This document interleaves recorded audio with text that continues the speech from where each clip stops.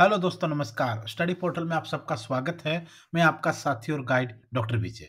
दोस्तों, आज हम डिस्कस करना शुरू कर रहे हैं एजुकेशन एंड एकेडमिक पोर्शन के मल्टीपल चॉइस क्वेश्चंस। दोस्तों, जितने भी टीचिंग लाइन के अंदर प्रिंसिपल और वाइस प्रिंसिपल के एग्ज़ाम होते हैं, चाहे वो के में हो एन में हो, ईएमआरएस में हो, Delhi UPSC principal, vice principal हो, या फिर अलग अलग बोर्ड में अलग अलग राज्यों के अंदर हो इस सेक्शन से अच्छे खासे क्वेश्चन आते हैं। कहीं पर पचास क्वेश्चन आते हैं, कहीं पर सत्तर नंबर के आते हैं, कहीं पर चालीस या तीस नंबर के आते हैं। ये सेक्शन सबके लिए मोस्ट इम्पोर्टेंट होता है। तो आइए हम शुरू करते हैं आज से। एक चीज़ मैं और बता दूँ eight double four seven four one zero one zero eight ये हमारा मोबाइल और व्हाट्सअप नंबर है कॉलिंग व्हाट्सअप दोनों नंबर पे ये है और हम ऑल ओवर इंडिया के अंदर स्टडी मेटेरियल प्रोवाइड करवाते हैं K V S N V S C TET U P TET super TET D triple S B U P S C और सभी टीचिंग एग्ज़ाम का। अगर आप प्रिंसिपल वाइस प्रिंसिपल या फिर P R T T G T P G T की तैयारी कर रहे हैं तो इस नंबर पर कॉल या व्हाट्सएप पर बात करके अपने घर पर नोट्स मंगवा सकते हैं और घर बैठकर तैयारी कर सकते हैं। क्योंकि आजकल हर कोई कहीं ना कहीं जॉब कर रहा है और उसके साथ बड़े शहरों में जा करके बाहर रह करके, रूटीन में क्लासेस करके या कोचिंग ज्वाइन करके तैयारी करना काफ़ी मुश्किल हो जाता है। इसलिए पूरे नोट्स का सेट आपको बाई कोरियर आपके घर भेजा जाता है, जिसमें पेपर वन, पेपर टू दोनों होता है। General section plus post specific portion आपका पूरा होता है। अगर आपको पीडीएफ चाहिए तो वीडियो के डिस्क्रिप्शन से डाउनलोड कर सकते हैं। आइए शुरू करते हैं ज़्यादा टाइम ना लगा करके। क्वेश्चन नंबर एक देखिए। सबसे पहले क्वेश्चन नंबर एक है। क्वेश्चन नंबर एक है, dyslexia is associated mainly with difficult in. जो डिसलेक्सिया है, उसका उसके ऊपर क्वेश्चन बहुत बार पूछा जाता है भाई। ये कहता है कि dyslexia is associated mainly with difficult in dyslexia से किस चीज़ में ज़्यादा परेशानी होती है? रीडिंग में परेशानी होती है स्पीकिंग में होती है स्पीकिंग एंड हियरिंग में होती है या फिर हियरिंग में होती है? यानी पढ़ने में होती है, बोलने में होती है बोलने और सुनने में होती है या फिर सुनने में होती है। दोस्तों, जो डिसलेक्सिया है, वो एक न्यूरोलॉजिकल डिसऑर्डर है।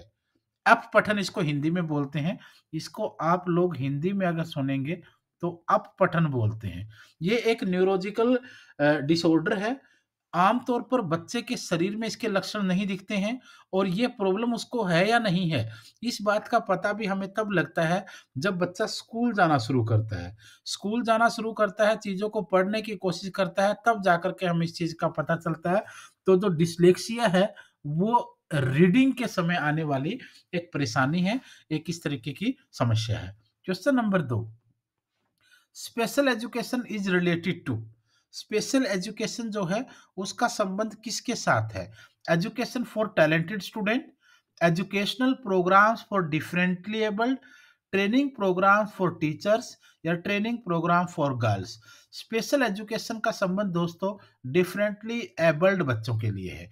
Educational program for differently abled, जो फ़िज़िकल हैंडीकैप्ड हैं, या जो दिव्यांग हैं, या जो डिफरेंटली एबल्ड बच्चे हैं उनके लिए ये एजुकेशनल प्लान होता है। आप लोगों ने देखा होगा, स्पेशल बीएड कर रहे हैं, स्पेशल डिप्लोमा कर रहे हैं तो ये आपका जो आंसर रहेगा, वहाँ पर यहाँ पर बी आ जाएगा। क्वेश्चन नंबर तीन देखिए।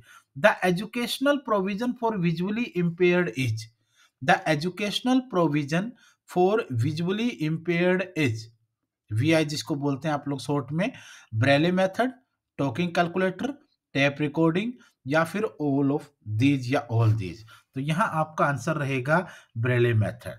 क्वेश्चन नंबर चार, फोर्थ क्वेश्चन है, जिसको आप लोग सीसीई e कहते हैं continuous comprehensive evaluation CCE system was introduced by in 2009 with the enactment of the right to education ये कह रहे हैं कि जो सीसीई e को 2009 में इंट्रोड्यूस किया गया राइट टू एजुकेशन के समय के दौरान या उसके ज़रूरत के लिए तो ये किसके द्वारा किया गया?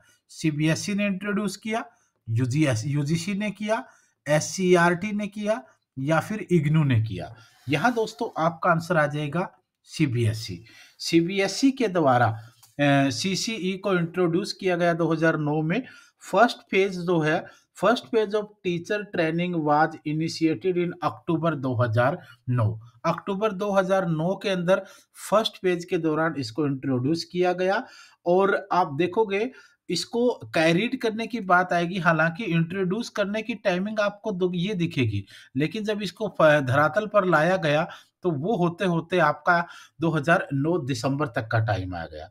इसी दौरान आप देखोगे जब इसका सेकंड स्टेज ये तो फ़र्स्ट स्टेज की बात हो रही है लेकिन जो इसका सेकंड स्टेज आपने देखा सेकंड स्टेज के दौरा, दौरान सीबीएसई इनिशिएटेड सेकंड स्टेज में ग्रेडिंग सिस्टम को लाया गया और ये 2009-10 के दौरान हुआ 2009-10 के दौरान हुआ और ग्रेडिंग सिस्टम भी आपका नाइन्थ क्लास से पहली बार यहाँ पर शुरू किया गया और इसके दौरान काफ़ी सारे आप लोगों ने देखा होगा, जैसे पहले स्टेज में 6051 के आसपास स्कूल थे और 15497 के आसपास प्रिंसिपल और टीचर्स को यहाँ पर ट्रेनिंग भी दी गई थी।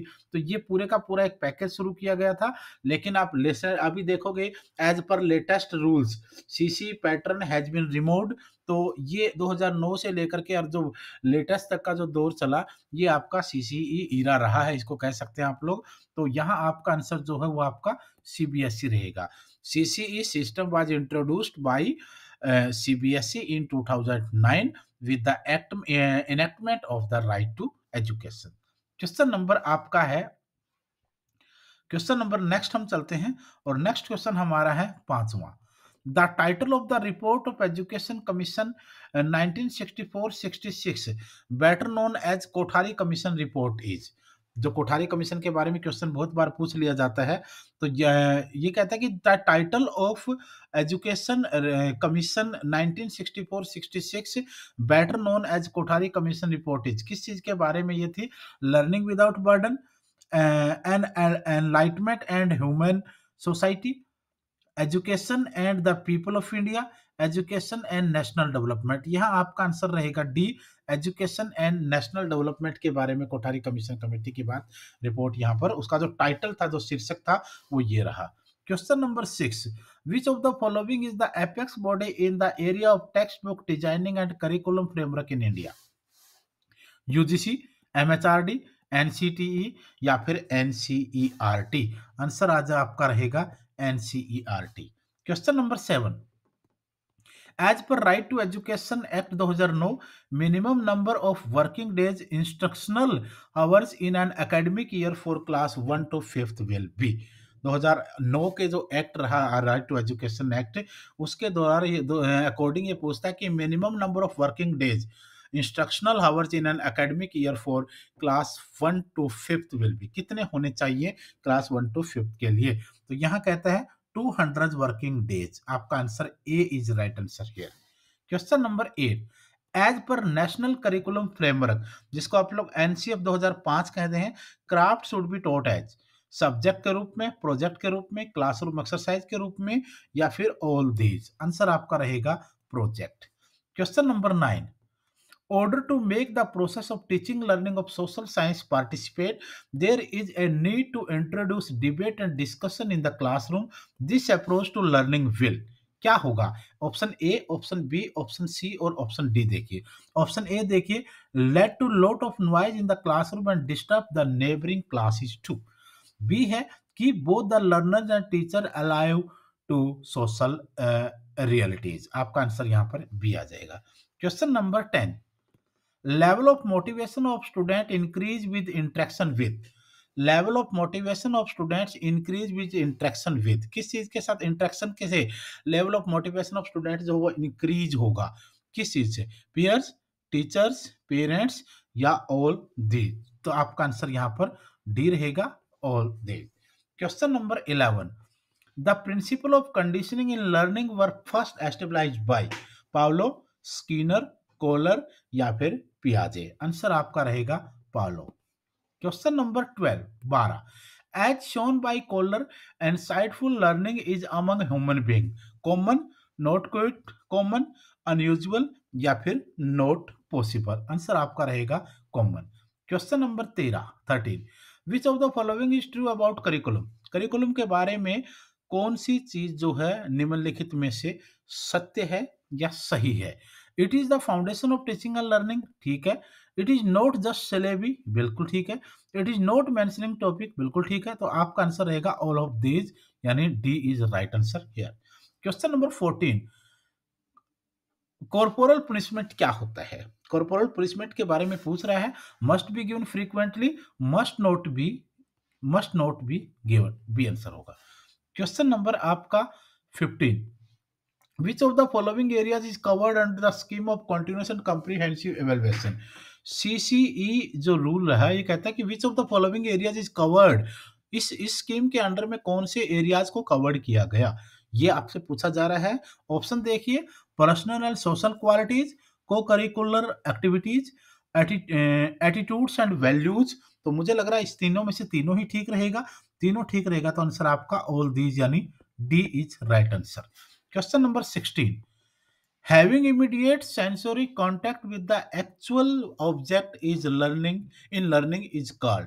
Having immediate sensory contact with the actual object in learning is called. क्या कहा जाएगा इसको ये आपको बताना है vicarious experience direct experience direct experience आपका आंसर रह जाएगा question number 17 17 because of the limitation of the classroom situation in most of the Indian school text book is considered desirable necessary irrelevant या none of the none of these आपका answer आ जाएगा इसमें necessary because of the limitation of the classroom situation in most of the Indian school text book is considered necessary question number आपका 18 यानी 18 which of the following approach is used by teacher for motivating children which of the following approach is used by teacher for motivating children.